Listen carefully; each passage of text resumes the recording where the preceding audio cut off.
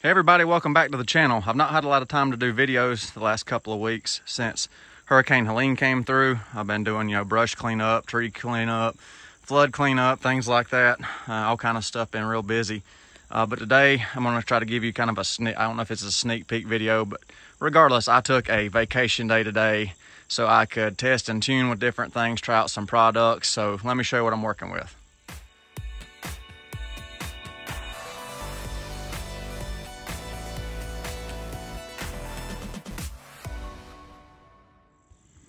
So first, uh, see the folding solar panels here. These are AllPowers SO33 panels. You may have seen this set right here in a previous video. Uh, here's another set. This is an updated set right here. I'm gonna give you a full video on all this soon, but just wanted to let you know if you're looking into folding panels. Uh, this Allpowers SO33 is 22 volts open circuit. The new sets right here are 44 volt open circuit. So you can charge 24 volt batteries or their power stations with the new ones right here. So these were right here 11 volts per per cell. So they series and paralleled for the old set. The new set is straight series 11 11 11 11 and this one right here punches out a lot more power in series wired versus this one in series parallel at the lower voltage let me just show you so I got the little Siekon right here. This is my little ripper battery. I charge this one up, rip it right back down. I've been beating the snot out of this battery. So far, it's doing good. But anyhow, this is the old solar panel right here, the old SO33. See, putting out 7 amps at 12.8 volts. So, you know, not a whole lot of power coming out of that one. And then over here, we've got a EnjoyBot 24 volt battery. And it's on the new, you know, the higher voltage panel right there. Uh, they're they're close enough to the same same angle for comparative purposes. And I got it on the old Batteria uh, charge controller right here. So I'm trying to get you a reading on what this one's doing. Get here in the shade. Say 130 watts. Hope you can see that. So that one's punching out quite a bit more power with the series wire versus the series parallel at the higher voltage. Uh, according to AllPowers, these have been started shipping since the 1st September, and their listings actually reflect the change in VOC on these panels.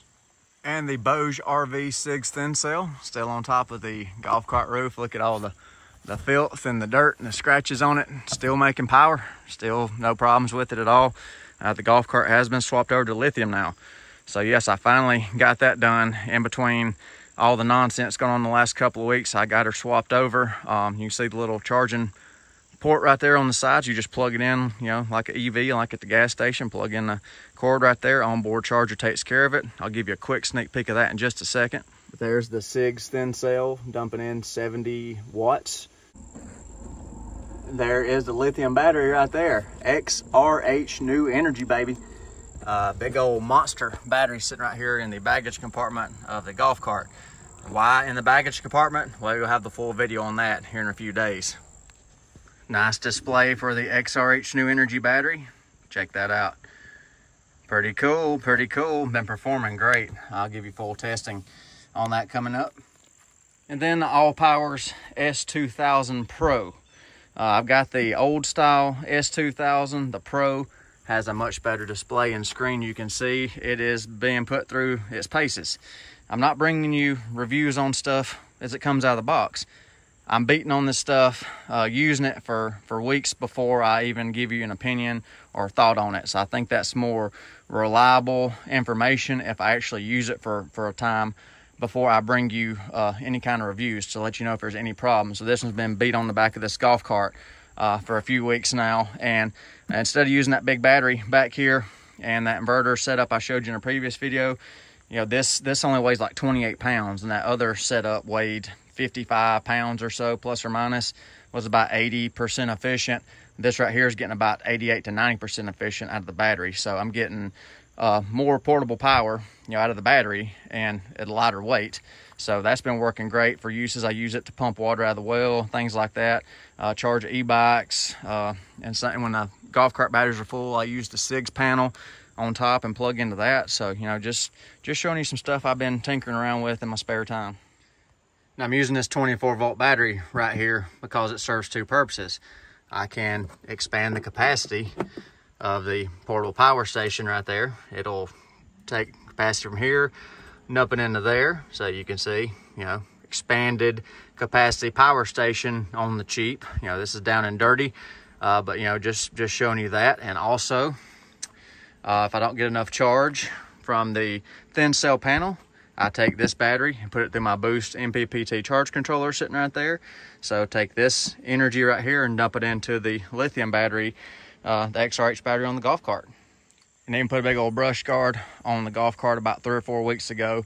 That's been holding up well. I've got it anchored in the frame twice as strong as the manufacturer recommends. I've been using it to pull rope, have pull rope on the front to drag limbs and stuff with you know, I use a four-wheeler too sometimes, but this just doesn't require any fuel. I mean, it's, you know, you get some sun, charge it.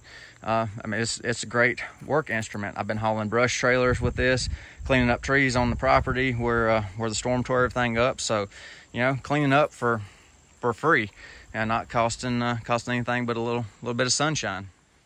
And in exactly one year update, it's been one year to the date since I installed these panels. Ignore the shading. These are past their peak of the day. I'm just letting you know for an update purposes. I bought these exactly one year ago. These are eco-worthy PERC cell 150 watt panels. Day one, brand new, cold weather, they made roughly 100 watts a panel. Well, one year later, this panel's failed, that panel's failed, half of this one's failed, half of this one's failed. I get about 150 watts out of this. Worst money I've ever spent on solar panels. So, you know, just telling you a personal experience with uh, eco-worthy solar panels. So this is all trash, waste of time and money. And then there are the old lead acid Duracell golf cart batteries. I've been topping them off, equalizing them, getting them ready to, uh, to tie in to the lithium iron phosphate system that's in the 12 volt power bunker that you have not seen yet. I have a dedicated video on all that coming up too. And also a big pile of AGMs sitting on the back of the power shed.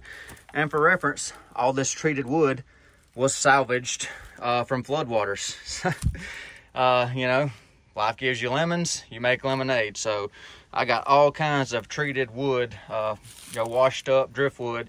So, you know, I've been using it. There's no sense in throwing it away. It's good treated wood, it's straight. Uh, so I've been using uh, salvage wood for stuff. And big changes have been made in the 12 volt power bunker. You can probably hear an inverter cooling fan running in the background. Uh, here's a little Midnite Solar charge controller. More on this later. So just giving you a little update to what I've been been doing in between storm clamp stuff. Love DC power. Uh, you know, this calms me down getting to work with uh, with different stuff and checking everything out. So just giving you an update. Look for more videos coming up as time allows. I will get back to normal posting, things like that. So I hope you enjoyed today's video. Questions on anything or something you want to see first that I've showed you today, let me know and I'll try to cater to your your needs or your wants. So uh, thank y'all for watching. Hope you have a nice day. Be safe and pray for everybody that's been affected by the hurricanes uh, in the southeast and Florida and everywhere. Y'all have a good day.